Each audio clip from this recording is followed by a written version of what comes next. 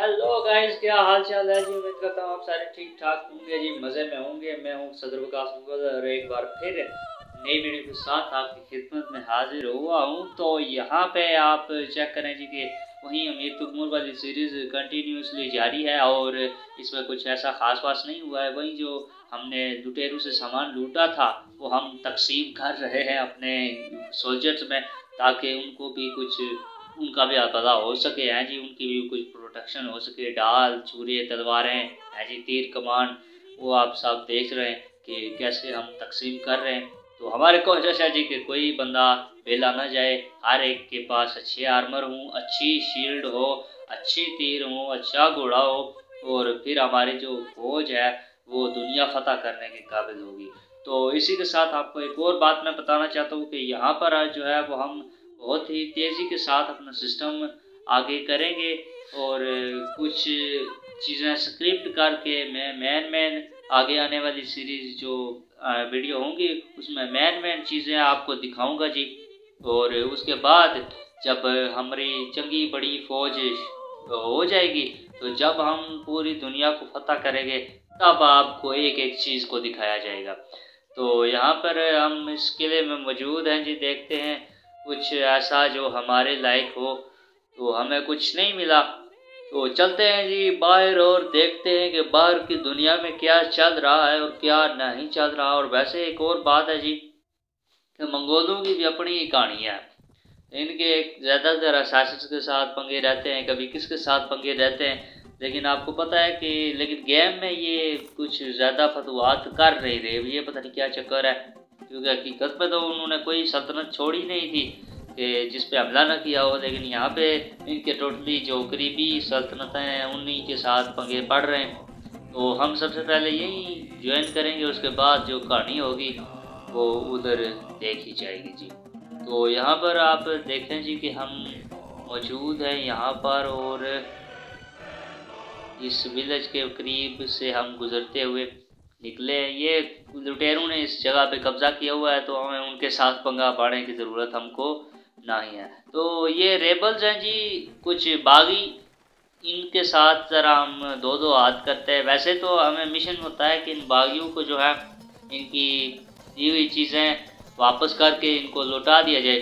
लेकिन क्योंकि ये बागी जो हैं, ये दरअसल इन्हीं सल्तनतों के ही बंदे होते हैं, जो विलेजेस में विलजर होते हैं, वो बागी बन जाते हैं। क्योंकि उनको बादशाह अच्छी नहीं लगती या जिस विलेज के अंडर जो लोड है, जो जिस लोड के अंडर जो विलेज है, वो उसको अच्छे तरीके से मैनेज नहीं करता। तो हमने वैसे इनके साथ कोई रहम दिली वाला सलूक तो नहीं किया है, लेकिन चले देखते हैं। तो यहाँ पर वो आ रहे हैं जी, और हमने कर देना है जी इन पे अटैक ये वैसे हमारे लिए सुखा ग्रह हैं, इतने ख़तरनाक चीज़ नहीं है जितने हमने पिछली जगह की हैं लुटेरों के साथ। वो तो काफ़ी मुश्किल तरीके के साथ हमने जीती थी, लेकिन यहाँ पे जो है ना, ये थोड़े से कम ख़राब नहीं करते, क्योंकि ये थोड़ा इजी सिस्टम है। इनके पास ज़्यादा हथियार वगैरह भी नहीं है आर्मर वगैरह भी नहीं है, और सबसे बढ़कर जो चीज़ इनके पास घोड़े नहीं है। जी हाँ घोड़े होते तो आपको पता है कितनी मुश्किल से वो पिछली जगह जो है वो हमने जीतते आए हैं।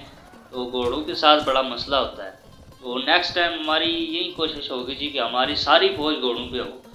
ताकि फिर टेंशन ही ना रहे कि घोड़े हैं या ना हैं। तो यहाँ पे जी हमने चेक करे, आए हाय, हमसे बचकर कोई नहीं जाएगा जी। हमारे नेज़े की धार हर एक का सीना चीरती हुई आगे बढ़ रही है जी। लेकिन निशाने पे कोई आ नहीं रहा। तो यहाँ पर चेक करें, आए आए है चीज़ होती है सरकार चस करा देती है। वैसे ये वाली जगह में आए हाय हाय, चस करा देती है। मैं तो सोचता हूँ बंदा पिछले ज़माने में चला जाए तो मज़ा ही आ जाए जी? लेकिन आपको भी पता है, ऐसा हो नहीं सकता। इसीलिए फिर हम ये जो गेम्स है, वो खेल कर अपना शौक पूरा करते हैं। हो, इन्होंने हमको घेर लिया है जी।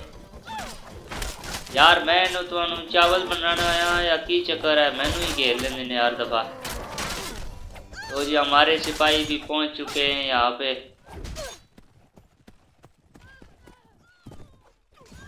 तो अब ये बिखर चुके हैं तकरीबन रेबल्स जो हैं, यानी बागी तो इनको एक एक करके हम मारेंगे, मज़ा आएगा। यहाँ पे खोपड़ियों के हमने मीनार बनाने हैं, जी एक एक की गर्दन उतार रही है।